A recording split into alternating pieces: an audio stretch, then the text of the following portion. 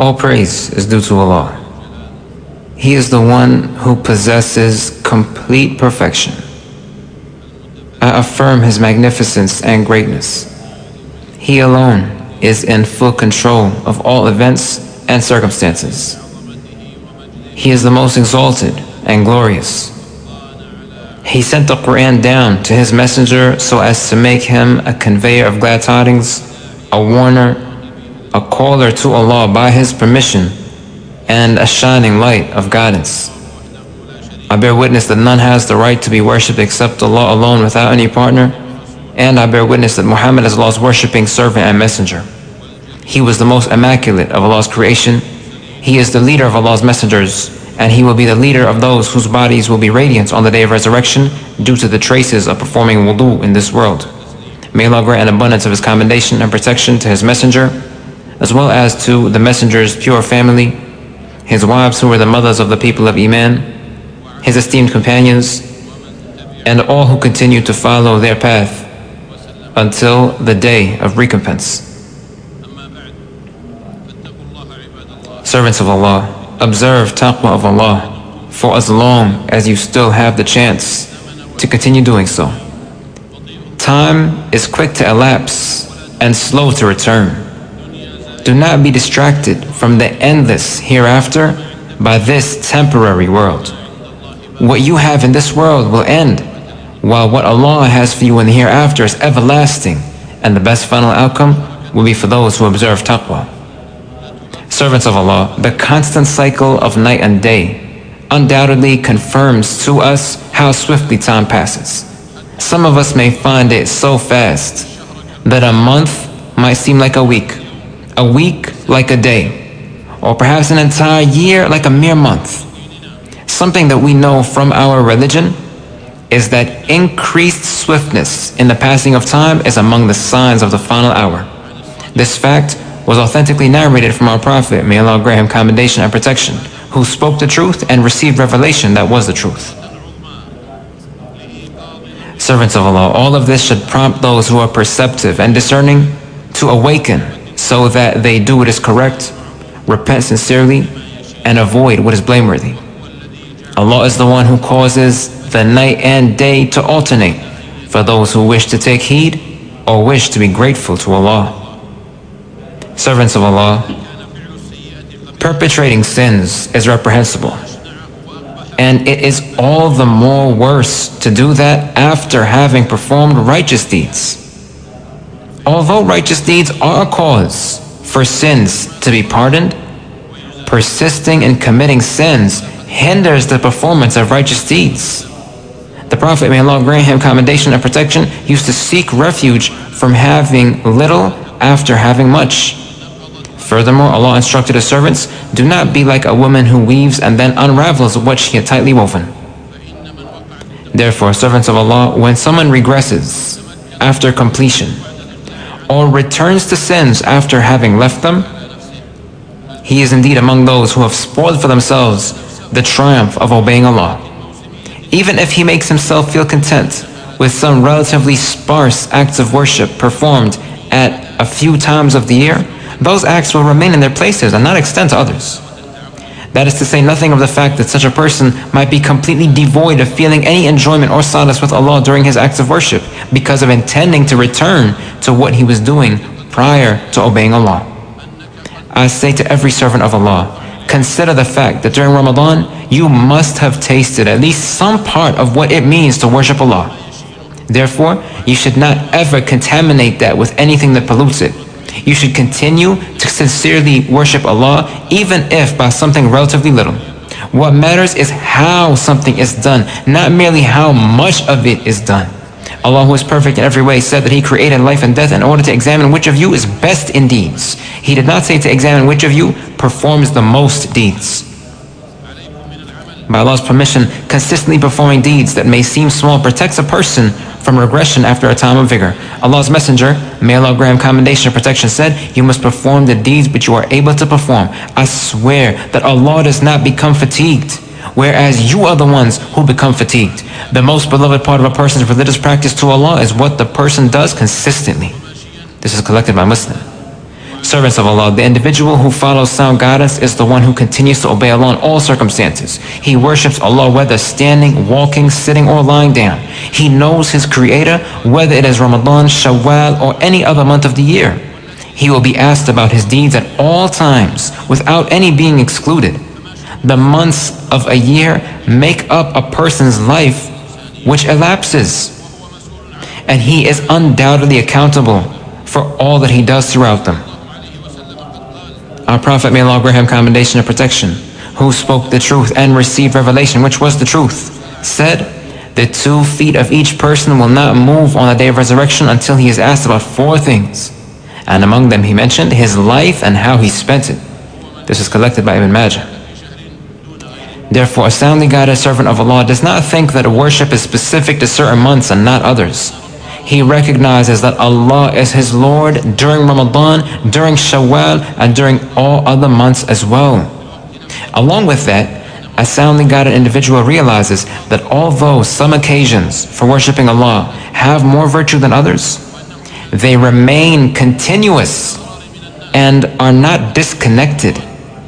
It is compounded ignorance for a person to deceive himself into thinking that Ramadan is a month which is an exception and it serves as a break between committing sins before it and then returning to sins after it. Such a perspective reflects ignorance, deviance, and lack of understanding. A soundly guided individual recognizes that the happiness which Allah prescribed for him on Eid is an act of worship, just as the fasting that was prescribed for him is an act of worship.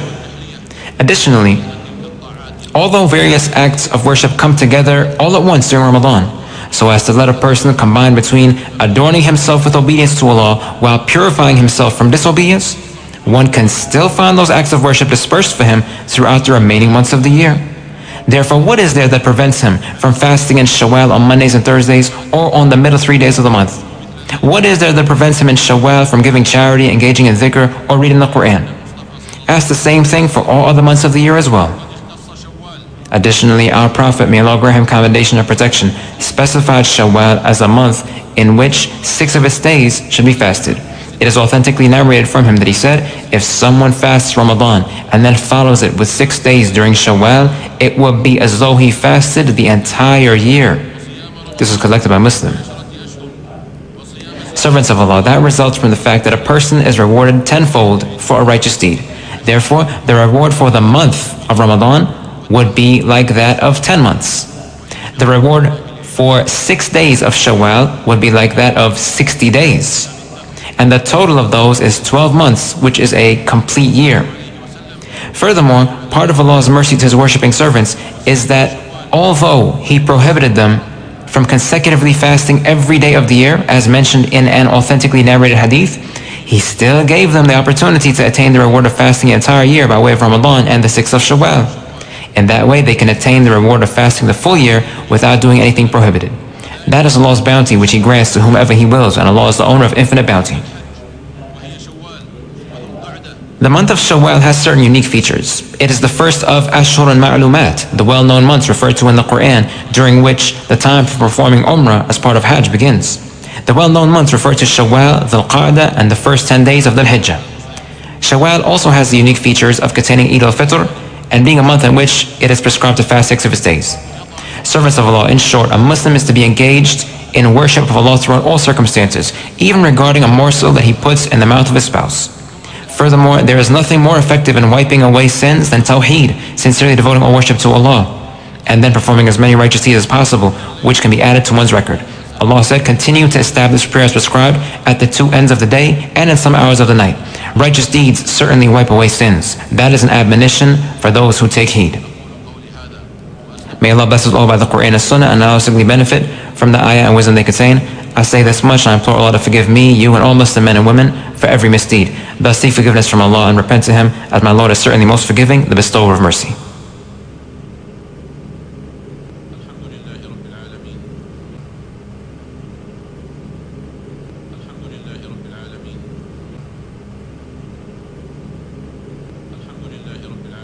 All praise is due to Allah, the Lord of all creation, and may He grant commendation and protection to the most noble of all the prophets and messengers. The best speech is the Book of Allah. And the best guidance is the guidance of Muhammad. May Allah grant him commendation and protection. The worst of things are those which are invented and then claimed to be part of Islam. Every such invention is considered bid'ah and every bid'ah is misguidance. You must also remain with the jama'ah, the collective of Muslims who adheres to what is correct, because the hand of Allah is over the jama'ah. If someone breaks away from it, doing so will take him to the hellfire. Servants of Allah, continue to observe taqwa of Allah. In addition, realize that if anyone had worshipped Ramadan, then Ramadan has now passed. But if anyone had worshipped Allah, then Allah is ever living and He never passes away. The truly intelligent individual is the one who takes account of himself and works for what lies ahead after death, whereas the incapable individual is the one who follows his own disobedient inclinations and fills himself with false hopes about Allah. Person should not ever waste his life doing things that his Lord is not pleased with. He should also not ever miss any chance to do what is correct throughout all months of the year, and he must ask Allah to assist him in doing that. In a well-known supplication of the Prophet, may Allah grant him commendation and protection, he would pray to Allah, saying, I beseech you to make life a source of more good for me. Doing good things is not confined to Ramadan. Rather, good things can be done at all times. And that is what a person should seek to do in compliance with the command of his Lord, the Almighty and Most Exalted. Continue to worship your Lord until the certainty of death comes to you. Hence, the only thing that ends a person's chance to draw near to his Lord is death. Therefore, servants of Allah, strive your utmost to continue obeying Allah, the Most Majestic, and seeking out what pleases Him. Additionally, beware of laziness when it comes to acts of goodness and kindness, and as it relates to persevering in doing those things. Indeed, it is only those who patiently persevere that will be granted a measurable reward. So long as you still have the chance, do not fall short in seizing whatever opportunity you can to please Allah. Do not let money, progeny, or celebrations divert you from obeying your Lord. The end of a person's life can come suddenly. Being held to account is a difficult thing, and it will be too late for sorrow and remorse at that time. People of Iman, do not let your properties or your children divert you from the remembrance of Allah. Those who allow that to happen are the ones who will suffer loss. And give from what we have provided you with before death comes to one of you and he then says, My Lord, if you would only give me respite for just a little while, I would give in charity and be among the righteous. Allah grants respite to none when his appointed time comes, and Allah is completely acquainted with everything that you do. May Allah have mercy upon all of you. In conclusion, invoke Allah to grant His commendation and protection to the best of all creation, Muhammad ibn Abdullah. Allah instructed us to do so. He mentioned Himself first, then mentioned His angels who proclaim His perfection, and then addressed you, the people of Iman, where He said, People of Iman, invoke Allah to grant the Prophet commendation and to grant him protection as well. O Allah, grant your commendation, protection, and blessings to your messenger Muhammad. O Allah, be pleased with his four successors, Abu Bakr, Omar, Uthman, and Ali, as well as all of the companions and those who continue to follow their path until the day of recompense. O Allah, be pleased with us along with them by your pardon, favor, and kindness. O Allah, grant strength to Islam and the Muslims. O Allah, grant strength to Islam and the Muslims and weaken shirk and those who perpetrate it. O Allah, grant victory to your religion, your book, the sunnah of your prophet, and your believing, worshipping servants. O Allah, relieve the distress and suffering of the Muslims who are afflicted. Settle the debts of those who are in debt, and heal our ill and all the ailing Muslims. We ask you this by your mercy, for you are the most merciful. O Allah, Lord of all creation, grant us safety and security in our nations. Make our authorities and leaders people who are righteous, and make them among those who fear you, observe taqwa of you, and do what pleases you. O Allah, the ever-living, self-sufficient sustainer of all, guide our leader to the words and deeds which you love and are pleased with. O Allah, owner of all majesty and kindness, guide his aides and advisors, and make them righteous individuals. O Allah, direct his deputy to do all that will be best for your servants and their lands. Allah, rectify the conditions of Muslims in all places. O Allah, rectify the conditions of Muslims in all places. O Allah, we call upon you to support our brothers who are downtrodden in all places. O Allah, rectify for us matters of our religion, which protect us from disobeying you. Rectify for us the affairs of this world in which our livelihood is contained. Rectify for us the affairs of the hereafter to which we will finally return and make life a source of increased good for us. O Allah, forgive the people of Iman and Islam, male and female alike. You are the one who answers our prayers. O Allah, we call upon you to make the occasions that you bless us with sources of us earning your reward.